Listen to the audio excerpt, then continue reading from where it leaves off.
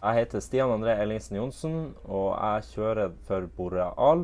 Og jeg er yrkessjåførlærling og er 23 år. Jeg kjørte lastebil i seks måneder. Så det var jo ganske naturlig å starte med lastebil, for det var jo det jeg hadde lyst til når jeg var, ja, når jeg var 18-19 år. Og tenkte det at ja, det var kanskje gjevere da enn å kjøre buss. Men uh, det viste seg jo å være feil. Motivasjonen kom jo ifra det at jeg, en, jeg, hadde en del kompiser som sagt, som skulle bli yrkessjåfører. og så syns jeg nå når de begynte å snakke mer og mer om det her, så syns jeg det begynte å bli interessant. For det er jo, som sagt, jeg hadde jo lyst på varierte dager. Så jeg har jo ikke lyst til å sitte inne på et kontor og se i veggene og se på PC-en hele dagen. Det har ikke jeg lyst til.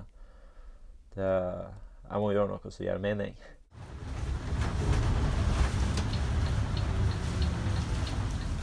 Man må være åpen som person. Høre mye. Og uh, folk er forskjellige. Du kan jo ikke være redd folk hvis du skal være yrkessjåfør eller kjøre buss.